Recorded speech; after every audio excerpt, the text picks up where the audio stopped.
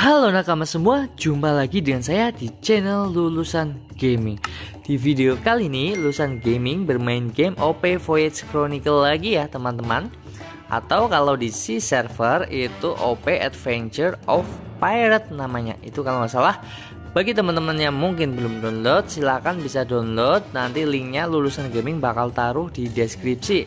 Terserah mau di server global maupun di C server.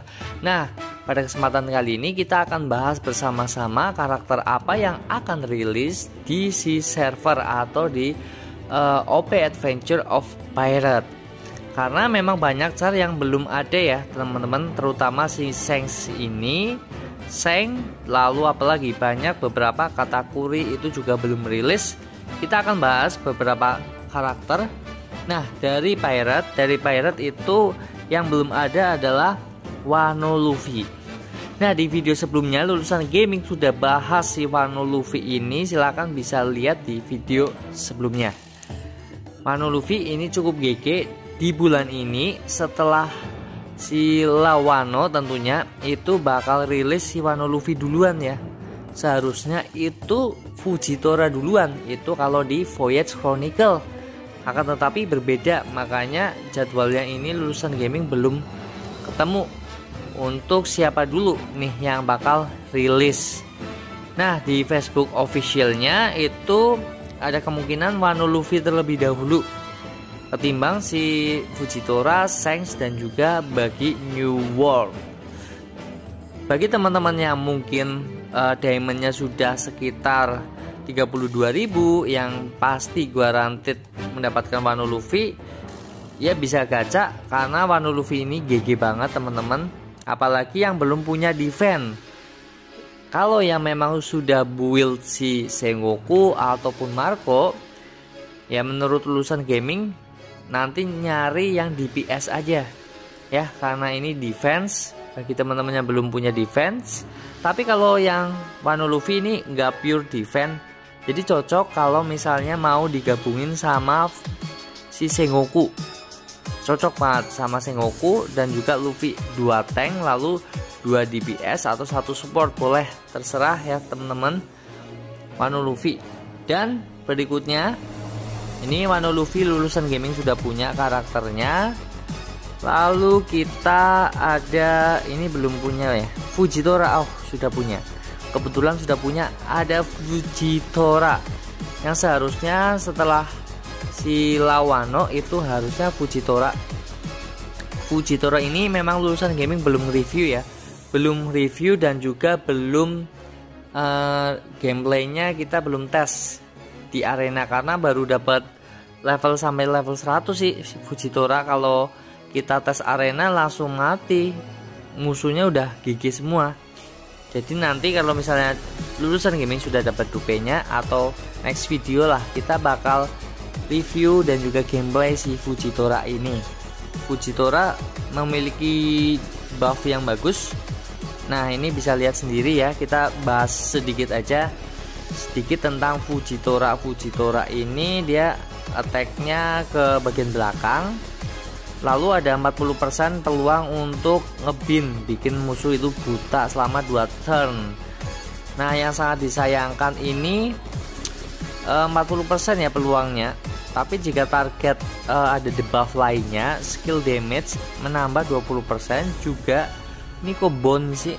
Bin apakah bone ya? Uh, bone ada efek lain kah? Buff lain kan debuff? Nggak ada. Harusnya bin mungkin salah nulis teman-teman. Mungkin ya. Nggak tahu. Ini juga binnya chance-nya increase to 70% wow. Jadi kalau punya diamond nanti dan juga teman-teman itu buildnya tim government ini wajib ada. Ini digabungin sama si Aokichi GG banget teman-teman. Soalnya apa? Karena Aokichi punya debuff debuff nge-freeze. Ditambah si bin ini Fujitora bisa ngebin. Karena ketika ada debuff lainnya itu bakal menambah damage GG nah ini targetnya juga dealnya AOE teman-teman. Kalau misalnya ada debuff nah dia bakal mengabaikan apa ini defend defend musuh lalu bisa stuck bla bla bla. Ya di sini lulusan gaming belum begitu bahas karena kita akan bahas yang lain nanti waktunya habis. Nah di sini kita ada debuff speed up dan juga speed down dan juga akurasi down ya teman-teman bisa baca sendiri bisa screenshot juga silakan. Kita nggak akan bahas lama-lama karena yang kita akan bahas eh, karakter-karakter uh, apa yang bakal rilis. Berikutnya kita ke apa sih namanya ini? Shichibukai Shichibukai support itu kemarin sudah rilis si Wanolau dan defense-nya ada New World Bagi. New World Bagi ini defense lalu ada dev up dan bisa stun musuh. 50% peluangnya cukup tinggi 50% kalau 40% sih nggak worth banget ya. Level 3 nya bagus. Kalau 60-70% tambah gigi banget sih bagi ini. Tapi single target dan bagian depan barisan depan. Attack all target 60% nah ini bagus ada armor bricknya kalau mau main armor brick atau musuh itu banyak defense dua defense misalnya. Ini bagus bagi ini. Ya itu kita nggak akan bahas lama-lama. Nanti di video selanjutnya kita akan bahas ya. Tinggal nanti teman-teman tulis di kolom komentar cara apa yang akan segera kita bahas bersama-sama. Ya kemarin banyak request juga si Fujitora kemungkinan next video ya besok mungkin kita akan bahas Fujitora terlebih dahulu. Karena memang sudah masuk list untuk kita review. Nah ini bagi lalu masuk ke sini ada katakuri dan juga sengs katakuri ini lulusan gaming sudah review di video sebelumnya. Silahkan bisa cek di video sebelumnya ini gameplay dan juga skill-skillnya kita sudah bahas secara detail lalu sengs juga sudah ya sengs GG Nah, jadi berapa ini? Ada dua yang belum rilis, ada tiga, ada empat, empat dan juga lima.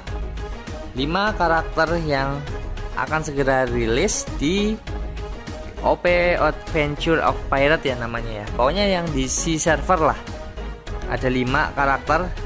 Nah, bagi teman-teman kalau mungkin bingung ya, menurut lulusan gaming sih kalau mau DPS DBS itu ya nunggu Sengs aja Sengs bagus banget sih. Menurut lulusan gaming incer Sengs ataupun katakuri masih jauh sih kemungkinannya. Ya kalau mau di fan Wano Luffy. Kalau nyari defense Wano Luffy dan supportnya udah ya Wano Lawe ya itu teman-teman video kali ini karena kita akan membahas sedikit perihal karakter yang bakal rilis di OP Adventure of Pirate. Jadi mungkin nggak lama-lama next video kita akan bahas satu persatu hero tersebut dan juga gameplaynya. Oke, see you next time. Terima kasih teman-teman yang sudah menonton. Jangan lupa klik like, subscribe, dan juga komen supaya lulusan gaming semakin semangat untuk upload konten-konten perihal One Piece tentunya. Sampai jumpa di video selanjutnya. Matur nuwun.